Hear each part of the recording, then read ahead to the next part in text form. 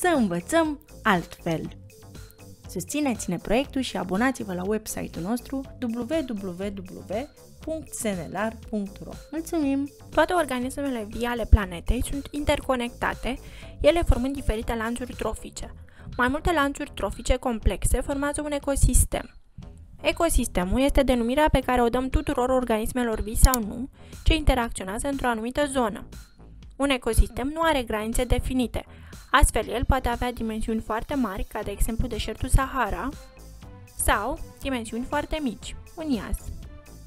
După locul în care se găsesc, ecosistemele sunt în general clasificate în ecosisteme acvatice și ecosisteme terestre. Orice ecosistem are atât părți vii, numite bioceneză, cât și părți care nu sunt vii, numite biotop.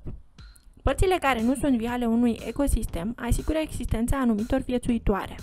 Pot fi lucruri cum ar fi aerul, vântul, lumina soarelui, temperatura, roci și tipul solului, tipul și cantitatea de apă disponibilă. Nu vom întâlni un măslin în ocean sau coral în deșert, pentru că nu au condiții să trăiască în aceste locuri. Părțile vii ale unui ecosistem sunt plantele și animalele. Orice ecosistem funcțional are trei categorii trofice, producători, consumatori și descompunători. Producătorii sunt de obicei plantele. Acestea sunt părțile ecosistemului care produc mâncarea, ele fiind singurele care își produc propria mâncare. Consumatorii sunt animalele. Cele ierbivore mănâncă plante, cele carnivore mănâncă alte animale.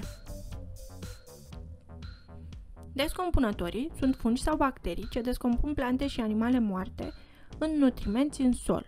Acești nutrimenți ajută plantele să crească și astfel ciclul începe din nou. Organismele vii dintr-un ecosistem, numite bioceneză, formează o comunitate. Într-o comunitate se află multe populații diferite. O populație este formată din toți membrii unei specii anume.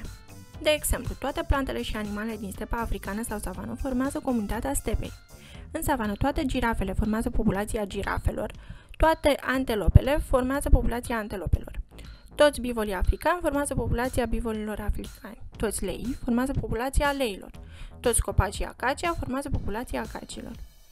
Echilibrul ecosistemului poate fi perturbat de condiții naturale, de exemplu tornade sau erupții vulcanice, sau de activitatea oamenilor, de exemplu dezvoltarea orașelor. Exemplu de dezechilibrare a unui ecosistem.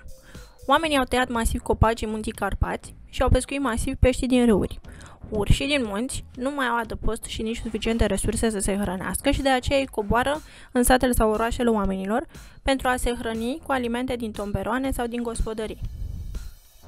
În majoritatea cazurilor, ecosistemele se pot recupera și își pot recâștiga echilibru dacă în timp li se dă posibilitatea.